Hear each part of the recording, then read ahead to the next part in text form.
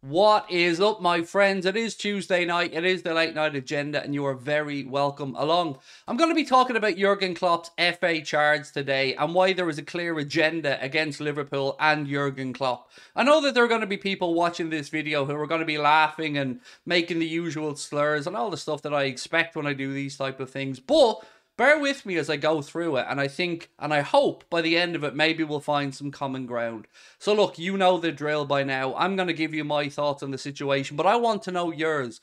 Let me know in the comment section. Do drop a like on the video, and of course, if you haven't hit that subscribe button, please do. So, look, it's been widely reported over the last couple of hours that Jurgen Klopp has been hit with an improper conduct charge from the FA, and he's most likely staring down the barrel of a second uh, touchline ban of the season, maybe one that will end his season on the sidelines. So I want to know how you feel about it because for me, I'm seeing a narrative. Now, look, let me start off by saying I don't agree with Jurgen Klopp getting up in the face of the fourth official. I do not. I can't defend it. And for that, maybe he has a case to answer. But there is a case of double standards here. You've probably seen the video doing the rounds on social media uh, with Dermot Gallagher speaking about whether Diogo Jota could have potentially had a red card or not. Now, his attitude towards Liverpool was very lucky to stay on the pitch, could have gotten a red. But yeah, earlier on in the season, in the season, in an almost identical situation, Dermot Gallagher was quite happy for Erling Braut Haaland to not even pick up a booking. Sure, it's all grand when Haaland does it, but if a Liverpool player does it, the energy seems to be a little bit different. Now, look, I know that this is me grasping at straws to some extent because that doesn't speak about Jurgen Klopp. But again, look at other managers. Arteta constantly had it on the sideline. It isn't just Jurgen Klopp. Obviously, every club's fan feels like their players, their manager, are treated differently and that certain officials have it in for them. It is absolutely clear that Paul Tierney doesn't like Liverpool and Jurgen Klopp. Why that is, I do not know, but I don't think it's even up for debate. Quite happily go back through his fixtures, see the fact that he didn't send Kane off previously, see the fact that he does seem to want to wind Liverpool up at any opportunity. And again, with regards to the confrontation with the conversation between Jurgen Klopp and Paul Tierney on the sideline, release the audio. It's very straightforward. I know they're going to release it after the investigation, but it doesn't seem like an investigation at this point. It seems like a witch hunt to me. So release the audio, then we'll know what was said. Now, remember, before you come in and say that I'm just defending our manager point blank and I'm trying to just find a way to get out of this for Klopp, Let's think back a few weeks ago. What was my stance when Andy Robertson got that elbow in the face from the fourth official or the linesman? Did I sit here and demand the man lose his job? Absolutely not. I said it was one of those situations where it was a bit of the heat of the moment thing. Let them deal with it. He certainly doesn't deserve to lose his job or have a ban. But then again, soon as it comes around to Liverpool doing something, that energy changes and people want Jurgen Klopp hung, drawn, and quartered for anything that he does. Look, He's an emotional manager and he does get up in people's faces, whether it be opposition players, whether it be managers. But let's think back to Pep Guardiola celebrating in front of Tsimikas, and I think at one point in front of Andy Robertson and confronting Robertson. Where was the same energy? Exactly, it wasn't there. So, to the FA, if you want referees to be respected properly, then you've got to start at the grassroots and build it all the way up. And yes, it will take time, but stop trying to vilify Klopp when it's clear that the referees and the officials in the Premier League, a lot of them, just aren't fit for purpose. Us as fans, be it Liverpool, United, Chelsea, whoever, all we ask for is consistency of decision making.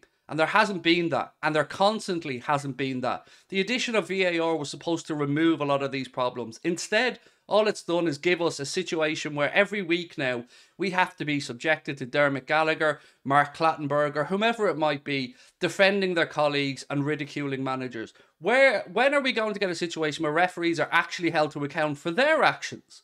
Why can't we mic up referees during games? That would absolutely stamp out this problem. I know people are going to say you can't mic up referees, Craig, because there will be swearing and that. Absolutely. But again, soon as the swearing comes in, ban the players. It might take a little while. TV companies might have to get a bit creative with their bleeping.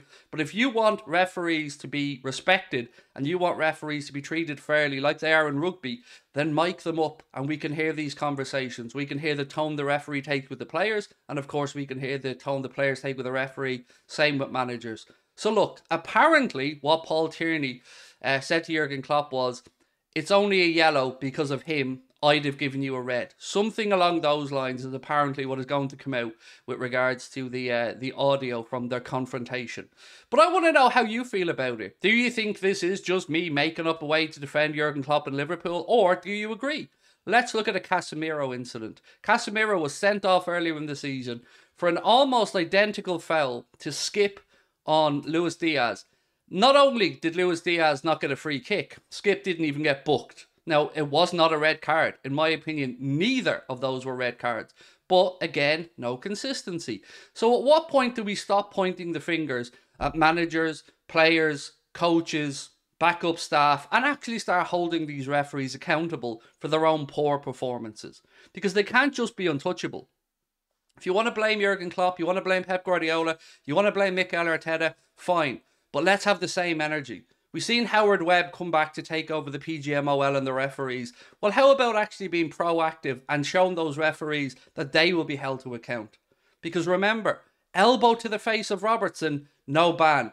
Jurgen Klopp celebrates in front of a fourth official, sideline ban. Where's the fairness? Where's the equity? Where's the equality? I don't think it's there. And every club's fan will have a set of officials that they believe has it in for them. Anthony Taylor, I don't believe, is very welcome in Manchester or Chelsea, but there you go. That's up to those fans to make that decision. For me, I love my manager. I love the fact that he's um, an emotional uh, human being. He's very much like myself, but he can go over the line at times. And I do feel that his behaviour to the fourth official was probably over the mark. Not the comments to the referee, not the comments he's been punished for, which is the after game uh, comments about Paul Tierney. I stand by him with that 100%. But remember, it's those comments that he's being held accountable for, not getting up in the fourth official's face. That was dealt with during the game. He received the yellow card. So why all of a sudden is Klopp being pulled out again to be ridiculed, banned, whatever way you want to put it? I mean, let me know. Do you agree, disagree? Is it double standards or am I clutching at straws here? I can guess which way you're going to go with it, but I'm going to continue to defend my manager because he's my manager and I love him. Now, a couple of other little quick bits and pieces. Liverpool have apparently stepped up their interest in Manuel Ugarte. There's been various reports coming out of Portugal about that. Uh, they believe 60 million euro would be the number. I think that's his buyout clause to get him out of a sporting deal.